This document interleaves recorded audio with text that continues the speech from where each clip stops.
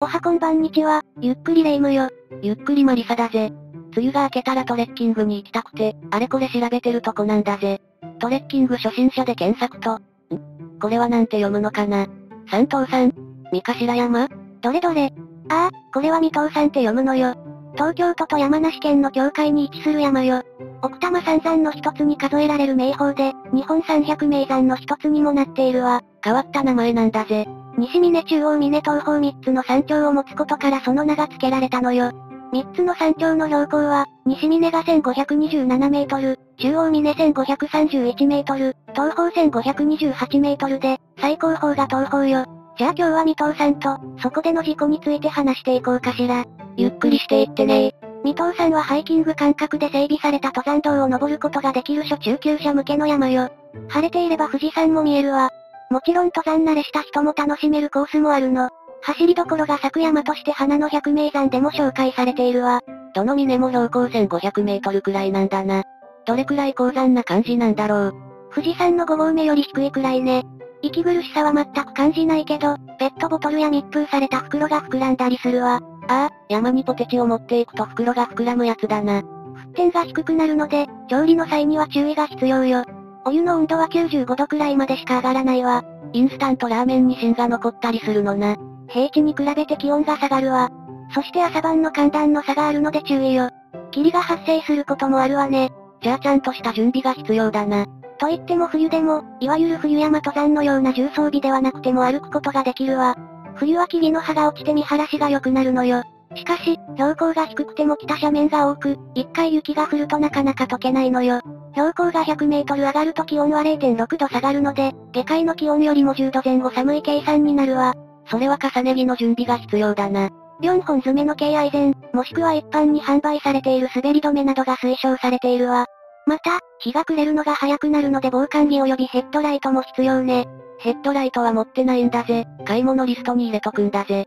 今日は三藤さんのルートを4つご紹介するわ。一つ目はブナの道コースで気軽に三藤さんへコースよ。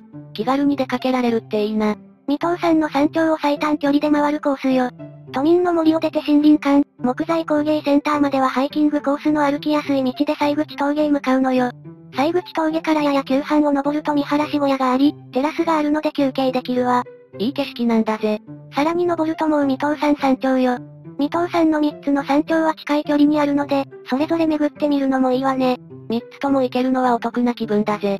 山頂にはベンチやテーブルがあり、富士山や東京都最高峰の雲取山が見える場所もあるわ。いいな、ここでお湯を沸かしてカップヌードルを食べたいんだぜ。木の階段で虫刈り峠へ降りたら三藤山避難小屋手前を左へ折れて都民の森へ向かうのよ。山東大滝を近くで見ることができる滝見橋からの大滝の道は平らで歩きやすいウッドチップの道よ。それで都民の森へ戻ってゴールね。楽しく回れそうなコースなんだぜ。二つ目は、もっと満喫、三藤山から大沢山を巡るコースよ。三藤山、虫刈り峠までは都民の森から一つ目のコースで回るのよ。虫刈り峠の先にある三藤山避難小屋を過ぎたら大沢山よ。その先に分岐があるので三藤大滝方面へ向かうの。滝大好きだぜ。不分の1揺らぎで癒されるんだぜ。1300メートル付近からは石山の道となるので注意して歩行してね。虫刈り峠から下る一つ目のコースと合流して都民の森へ戻るのよ。一つ目よりちょっとだけ難易度が上がるんだな。三つ目はさらに三藤山を楽しみたい人へおすすめコースよ。ここからは中級者以上向けになるわ。三藤山から牧寄せ山を回り、カズマの湯を回るコースよ。都民の森から三藤山、大沢山までは二つ目のコースで回るわ。ちょっとずつハードになるな。大沢山からやや急坂を下るとなだらかな尾根道が続き、牧寄山に至るのよ。牧寄山を越えた西原峠から鹿妻方面を目指すわ。落ち葉が多いけれど歩きやすい登山道で、中野平の集落に出るのよ。ここからは舗装路で、車道に出てすぐにバス停があるの。バス一駅、徒歩5分ほどで温泉センター鹿妻の湯よ。温泉か。筋肉疲労にも効果があるお湯なので、疲れを取ってから帰路に着くのもいいわね。食事もできるわよ。疲れた足をゆっくり伸ばせるのがいいな。四つ目はさらに上級者向けのドラム缶橋コースよ。距離が長く、脱がさす尾根の長い登りが続くため見客の人向きになるわ。ゆらゆら揺れるドラム缶橋があり、奥多摩湖を渡れる面白いコースよ。これは楽しそうだな。以前は本物のドラム缶を使っていたけれど、現在では樹脂製のフロートでイカダを浮かせているわ。渇水時には浮き橋が取り外されることもあるので注意してね。小河内神社前のドラム缶橋麦山の浮橋を渡り、木の階段を登って一旦奥多摩周回道路を右手に進むの。登山口からは樹林帯の急登になるわ。伊予山からは尾根らしい道になり、一旦下るとぬかざし山、入尾沢の峰へ向けて登りになるの。入尾沢の峰を越えると気持ちよく歩ける尾根道となり未踏山へ至るわ。未踏山からは一つ目のコースで都民の森へ向かってゴールよ。盛りだくさんで満足できそうだな。以上、四つのコースを紹介したわ。どうかしら？どこもすごくいい景色なんだぜ。マリサはどれにトライしてみたい？私は登山はあまりしたことがないから初心者向けかなでもちょっと冒険して3つ目の温泉コースにも惹かれるんだぜ。そう、誰しもどうせ行くならちょっと難しそうなとこにトライしたくなるわよね。でもそれで大変な騒動になってしまったこともあったのよ。大変な騒動？初心者向けな未踏山で何かあったのか？そうなのよ。2018年、日本在住の中国人 A さんも未踏山に登りたいと考えたの。でも山好きな友達が周りにいなかったのよ。せっかくならワイワイ楽しく行きたいもんな。そこで A さんは SNS で同行してくれる人を募集したの。結果男女13名、日本人3人中国人10人、年齢も48歳から15歳の男女と幅広い年代が集まったわ。ふーん、世代を超えて仲良くなれるってのはいいな。でも非常に不安定な集団とも言えるわ。集団登山のメリットは登山経験豊富な人間同士がお互いを助け合ってリスクを分散することなの。なるほど。でも今回は、それが裏目に出てしまったようね。3月22日、一行は午前8時に未踏山のふもと、奥多摩駅で集合したの。東京は雨が雪になって、東京西部山間部は積雪の恐れがあると天気予報は告げていたわ。でも無事落ち合えてテンションの上がった A さんたちは小雪のちらつく中、元気に登山を始めたの。一行は急登の奥多摩湖側から登り始めた。進むうちにちらほらだった雪は本降りになっていったわ。やばい予感。グループの一人が、なんだか雪が強くなってきたんじゃないかと言い出したの。確かに入山時には小降りだった雪が強くなってきていたわ。A さんはこの分では頂上へ登るのは厳しいかもしれないと考え、グループのみんなにそう切り出したの。でもグループにいた年長者が何を言っているんだ、せっかく集まったんだから登ろうと強く主張したの。ああ、いるなこういう仕切りたがる人って。A さんはこの雪では無理ですよと言ったものの、もともとは SNS で知り合っただけの中、強く主張して場の雰囲気を壊すのは気が引けたわ。わかる気がするぜ。奥多摩湖からは急登で斜面角度30度を超える箇所もいくつも出てくるの。両手を頻繁に使わなければ登れない箇所もあるわ。そうした急登攻めに対処するためには、まず山慣れしていなければならない。SNS で急遽集まった、日本の山に慣れていない人たちにとって、攻略はなかなか難しかったと思われるわ。標高はどれくらいなんだろう。奥多摩周遊道路の登山口の標高は550メートルほど、頂上までの飛行981メートルで水平距離4735メートルほどよ。平均斜度20%、角度にして11度となっているわ。かなり険しいのか？そうね、スキーゲレンデでも中級者向けの勾配と言えるわ。これを長時間にわたり登るとなると結構な体力を消耗するの。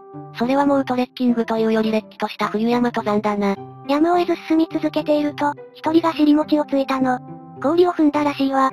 助けをこそうとしたけれどひどく痛がるので、骨折が疑われたわ。A さんたちはあり合わせの道具でその人の腰を固定して応急処置をしたの。ああ、気の毒にな。気づいたらその人だけでなく、あちらでもこちらでも、転倒して擦り傷を作っていたの。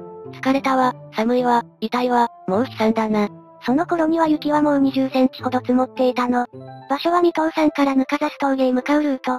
それなりに距離とアップダウンがあり、時間もかなりかかるあたりよ。時刻は20時を回り、あたりはすっかり暮れていたわ。こういう時はどうするのがベストなんだろう？これはもう無理です、登れません。強行は無理だったか。しかしせっかく来たのだし、無理です、怪我人が出ているんですよ。もう暗くなりました。救助を呼びます。もはや年長者の言うなりになるのは危険だと判断した A さんは、反対の声を抑えて119番に電話をしたの。やれやれだな。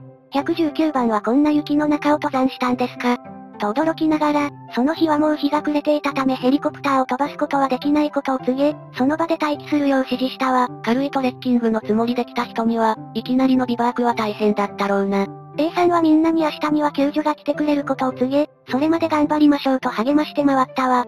3月とは言っても雪はすでに40センチは積もっており、気温は0度を下回ったの。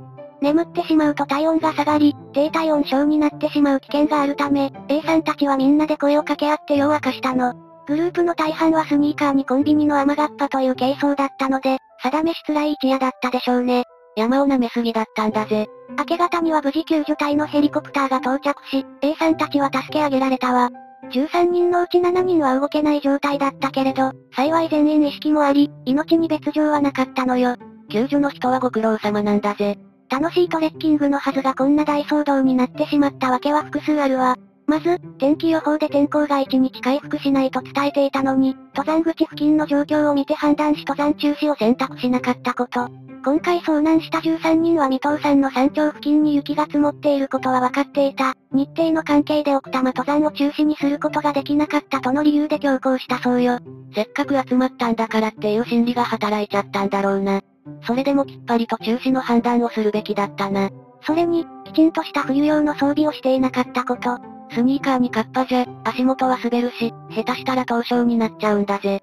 それから、午後8時頃に救助要請をしていたけど、連絡するのが遅すぎるわよね。明るいうちに119番の指示を仰げば、山で一晩過ごす羽目にはならなかったかもしれないな。また、午後8時にぬかざす山の登山道にいたということは、未登山の山頂に着いた時にはすでに夕方だったと思われるわ。山頂に着いた時点で、近くの避難小屋で一泊するという判断ができていれば、こんな騒ぎにはならなかったわ。なるほど。臨機応変が大事だな。それに初めにも言ったけど、年齢性別国籍登山歴などがバラバラの集団で、しかもリーダーシップを取れるベテランがいなかったこと。進む進まないで揉めて、足の引っ張り合いになってたもんな。アルピニストの野口健氏は22日、ツイッターで生還できたのは良かったけれど、しかし、低山だからと軽く見ない方がいい。低山の遭難は意外と多いと警鐘を鳴らしたわ。気の緩みによる準備不足。人気の少ない山によっては登山道の整備不良もあり道迷いによる遭難も目立つと、低山でもしっかりと準備をしていく重要性を訴えているわ。アルピニストが言うと説得力があるんだぜ。それに近頃、SNS の普及により見知らぬ者同士が気軽に会ったり活動する機会も多くなってきたわよね。それにつれて、犯罪や事故に関わるケースも多くなっているわ。名前も知らない者同士が気軽に仲間になって誘い合って、楽しいひとときを過ごすようにもなってきているようだけれど、登山となれば無責任に誘い合うことの危うさを認識しないといけないわ。